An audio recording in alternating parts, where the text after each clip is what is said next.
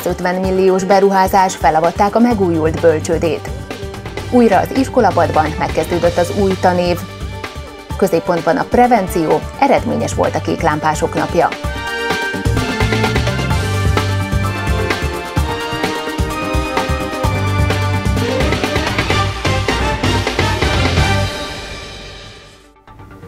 Jó estét kívánok! Köszöntöm Önöket az Orosházi Városi Televízió keddi híradójában. Nézzük is legfontosabb híreinket. Felavatták a Zöldfa utcai bölcsődét kedden délelőtt. A leromlott állapotú 30 éves épületet 150 millió forint pályázati forrásból korszerűsítették. Épült egy új csoportszoba, kicserélték a nyílászárókat, megszépült a konyha, a hőszigetelés mellett pedig az elektromos hálózatot is felújították. Korábban a bölcsöde 60 kisgyermeket fogadott, a pályázatnak köszönhetően 76-ra nőtt a férőhelyek száma. A kis harang névre keresztelt bölcsőde illeszkedik a város óvoda felújítási programjába. Ünnepi beszédében Dancsó József polgármester kiemelte, Orosháza szinte minden óvodája, és most már a bölcsödéje is modern, biztonságos, igényes környezetben fogadja a gyerekeket. A bölcsöde átadóról a pénteki híradóban részletesen beszámolunk. Új világszínvonalú termékekkel lépett piacra a közelmúltban a Guardian Orosháza üveggyára. A tükröződésmentes üvegre a nemzetközi cégcsoport vezetői is felfigyeltek, ezért a helyszínen nézték meg, mit fejlesztettek a magyar mérnökök. A múlt héten a Guardian cégcsoport üvegdivíziójának vezetői négy napos látogatást tettek Magyarországon. A helyszínválasztás nem véletlen, hiszen gyáruk van Orosházán, ahol új termékeket és termelési struktúrát indítottak el. Ez kiutat is jelent a gazdasági nehézségekkel terhelt régióban. Orosházán az eddigi termékek mellett az elektronikai ipar és a technika irányába mozdult el a fejlesztés. Az orosházi gyár vezetője szerint a gazdasági nehézségek idején előre kell tekinteni, fejleszteni kell, nem elég az addig megszokott termékskálát fenntartani. Nem egyszerűen csak egy nyersanyagot, egy alapüveget gyártunk, hanem ezt az üveget feldolgozzuk, egy magasabb hozzáadott értéket képviselő termékkel alakítjuk át, és ezzel jelentünk meg a piacon. A fejlesztések között az egyik legjelentősebb a tükröző tükröződésmentes, úgynevezett antireflektív üveg kifejlesztése volt. Az igazgató be is mutatta nekünk, mit tud az új üveg. Ha benézünk itt a hagyományos üvegen, mit látunk? Akarva akaratlanul leginkább saját magunkat, Igen. és talán valamit látunk abból is, ami ott benn van. Hárébb megyünk, és itt nézünk be, akkor itt már azt látjuk, hogy mi van benne a teremben, és a színeket is teljesen más élességben. A tükröződésmentes üveget az elmúlt években az orosházi mérnökök fejlesztették ki, és a nemzetközi piacon nagy sikert aratott. Felhasználják többek között televíziókban és bolti kirakatokban is. Az orosházi gyár a mennyiségi termelésben nem tud versenyre kelni a cégcsoport német vagy orosz gyáraival. Ezért az elmúlt évtizedekben felhalmozott tudásra és a mérnökök kreativitására alapozva új utakat keresve fejlesztenek, aminek meg is van az eredménye. Orosházán is megkezdődött az új tanév hétfőn. A tanévnyitókat zömmel a hétvégén, illetve hétfő reggel tartották városunkban. Országszerte több mint 1 millió 300 ezer diák ült iskolapadba. A 2013-2014-es tanév 180 napos lesz. A tanévnyitóra gyülekeznek a diákok a Táncsics gimnáziumban. Hétfő reggel megkezdődött a 2013-2014-es tanév.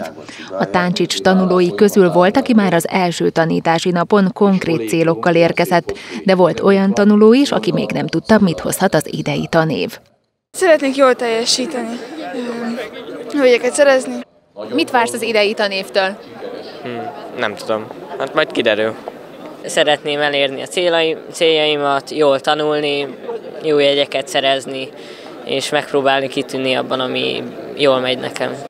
A tanévnyitót követően az osztályok külön-külön folytatták a munkát, az első napon osztályfőnöki órákkal. A szakminisztérium adatai szerint országszerte több mint 1 millió 360 ezer diák ült iskolapadba, mintegy 773 ezer tanuló az általános iskolákban, 216 ezer a gimnáziumokban, 244 ezer fiatal a szakközépiskolákban, 130 ezer diák pedig a szakiskolákban folytatja tanulmányait. Mit tegyünk, ha tűzüt ki, és hogyan hívjunk mentőt? Ilyen kérdésekre is választ adott a Városi Kéklámpások napja. Augusztus végén mentősök, rendőrök és tűzoltók szakmai bemutatókkal és játékokkal várták a gyerekeket és felnőtteket egyaránt. A cél az volt, hogy a kellemes kikapcsolódás mellett hasznos információkkal is gazdagodjanak a civilek. Szirénázva vonultak rendőr, mentő, tűzoltóautók múlt pénteken Orosházán, baj nem volt, csak a kéklámpások napja. A városon átvonuló menet célállomása a Liget utca volt. A Malomtó melletti füves részen rendezte meg a programot az Őrizdelángot alapítvány idén először. Alapítványunk már régóta gondolkod ezen ötlettel, hogy a városban összehozza a kéklámpásokat, bemutassa a, a kéklámpásoknak azon megelőzési programját, amelyet egyébként a civil lakosság nem igazán ismer. Ugrálóvár, vetélkedők, játékok, számos érdekességet kínált a kéklámpások napja. A rendőröknél például ki lehetett próbálni a részek szemüveget, ami megmutatja, hogyan befolyásolja az alkohol a látást. Trafipaxal mérték a futás sebességét, a leggyorsabbakat meg is jutalmazták. Bűnjelekből olvashattak a gyerekek is, megnézhették a fegyvereket, a rendőrautók szirénája pedig szinte egyfolytában szólt. Kevés levegő, rossz látási viszonyok, ez várt a füstsátorba lépőkre a tűzoltóknál, és így kellett különböző feladatokat megoldani. Le kellett oltani a vizet, meg az áramot. Melyik tetszik legjobban, a tűzoltóság, rendőrség? A rendőrség, mert azok, ha valami baj van, mindenben meg tudnak védeni.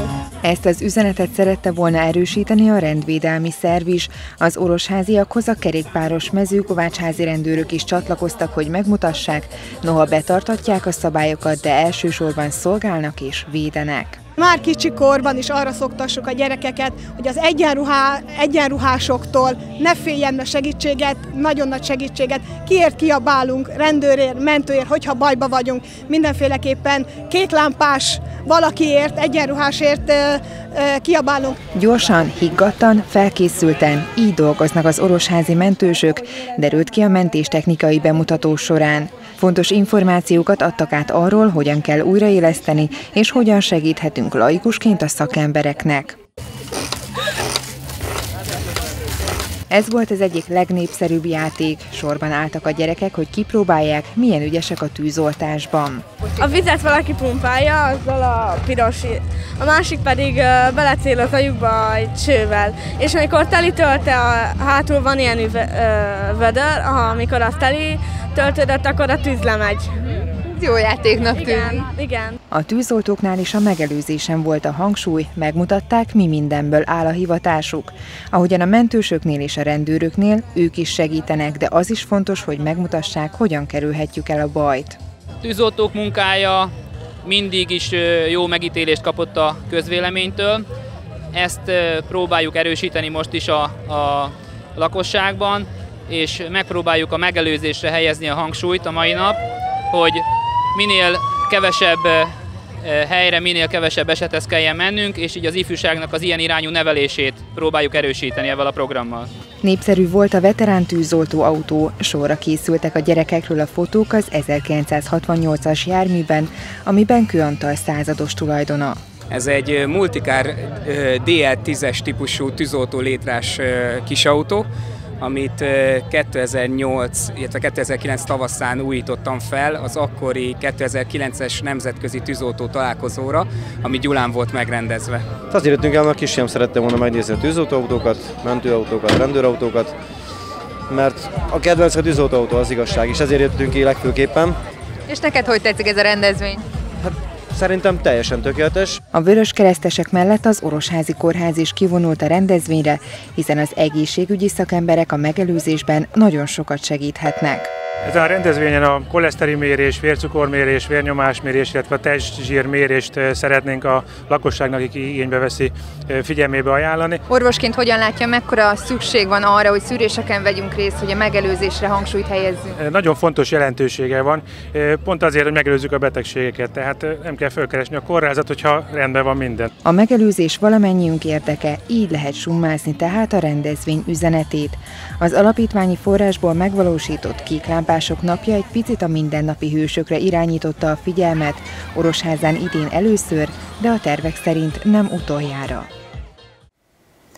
A város kézilabda életében először élő televíziós közvetítés lesz szeptember 11-én. A sportklub élő egyenes adásban közvetíti az Orosházi FKS Linemár Pixeged mérkőzést. A találkozók kezdési időpontja emiatt változott, 20 órától szurkolhatunk csapatunknak. Korábban már beszámoltunk arról, hogy az NB1-es sorsolás elkészült. Nézzük, mikor és hol kezd az Orosháza. A tervek szerint halad a felkészülés az Orosházi FKS a NB1-es férfi kézilabda csapatánál. A klub tájékoztatása szerint elkészült a végleges sorsolás is az élvonalbeli bajnokságban.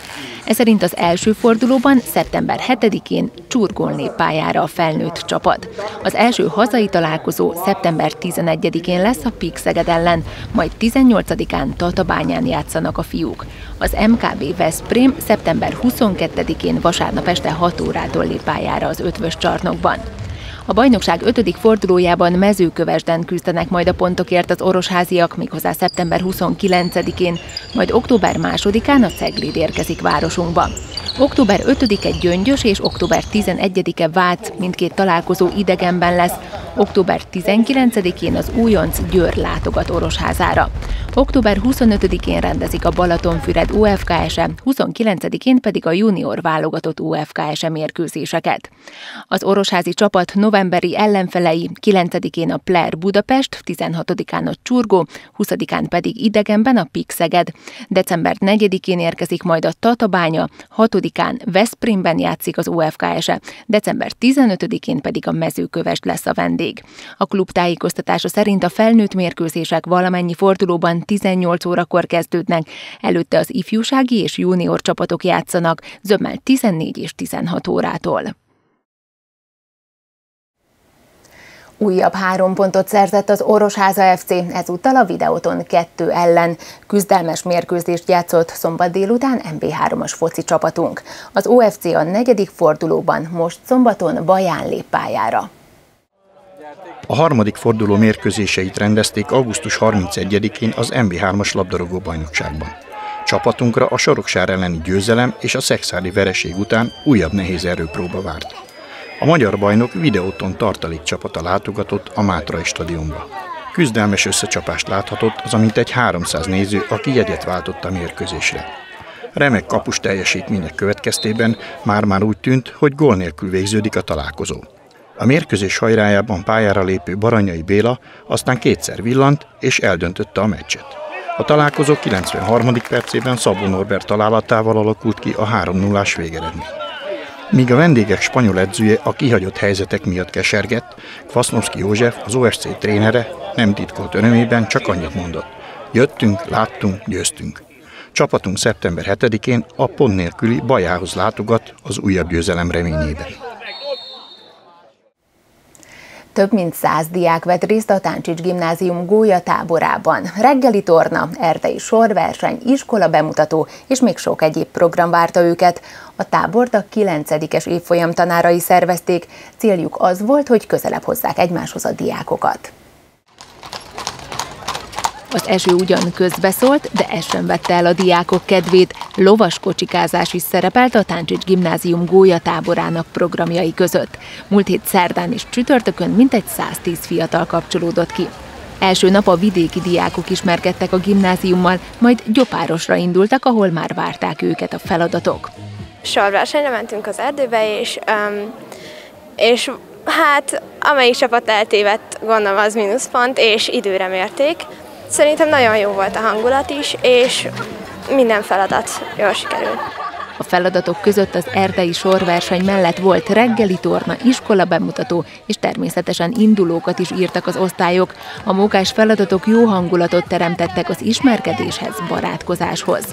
Én nagyon élveztem. Igaz, hogy külfö, vidékről jöttem, és ugye alig ismertem valakit, de elég hamar összebarátkoztam itt az új osztálytársaimmal. A gólyatábor ötletét már tavaly felvetette az intézmény tanára Csányi László, és az idei tanévkezdés előtt tudták megvalósítani. A tábort a 9-es évfolyam tanárai szervezték. A gyerekek igaz, nem sokat aludtak, de annál többet barátkoztak, beszélgettek, tehát én úgy gondolom, hogy sikerült egy olyan tábort szervezni, ami közelebb hozta nem csak az osztálytársakat, hanem az egy év folyamon tanuló diákokat is. A diákok a tábor végén fáradtan, de jókedvűen indultak haza. A jó hangulat azt mutatta, a fiatalok gyorsan beilleszkednek majd a Táncsics gimnáziumba. Tatár Kis Szabolcs nyerte a hétvégi orosházi versenyt. A négy napos rendezvényen a különböző kategóriákban összesen 50-en ültek asztalhoz. Az első hatban három orosházi versenyzőt is találunk. Augusztus 29-e és szeptember 1 -e között rendezte meg az Orosházi Sakkegyesület a polgármesteri hivatallal karöltve immár 24. alkalommal az idős Bacsur Imre emlékversenyt. Imre bácsi, ahogy itt a sakkozók szólították, én nem ismertem, de a többiek itt szólították, Orosháza és Békés megye egyik legismertebb versenyzője volt. Többszörös megyebajnok, illetve a városnak évtizedekig a legjobb játékosa volt. Az emlékversenyen asztalhoz ült a verseny névadójának fia, ifja Bacsur Imre is. Vegyes érzelmek mindenképpen, egyrészt mert emlékezünk édesapámra, másrészt pedig hát örömmel tölt el az, hogy most már 24. alkalommal meg tudjuk rendezni ezt az emlékversenyt. A négy napos rendezvényre több vidékről érkezett játékos is nevezett, így érkezett versenyző Békés Csabáról, Hódmezővásárhelyről, Békésről, Szentesről. A tornán részt vett a 24 évvel ezelőtti győztes,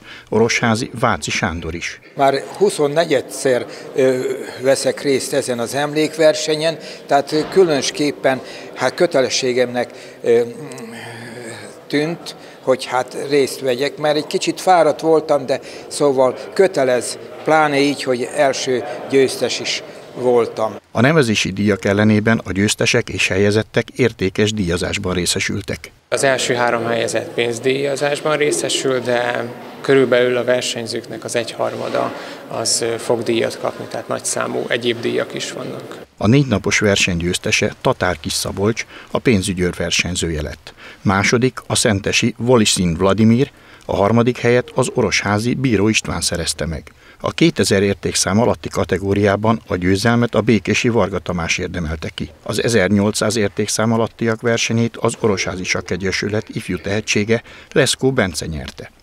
A legeredményesebb hölgyversenyző díját a szentesi Szalai Renáta vehette át.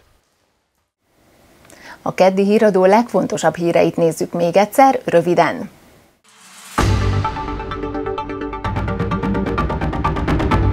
...150 milliós beruházás felavatták a megújult bölcsődét. Újra az iskolapadban megkezdődött az új tanév. Középpontban a prevenció, eredményes volt a kéklámpások napja.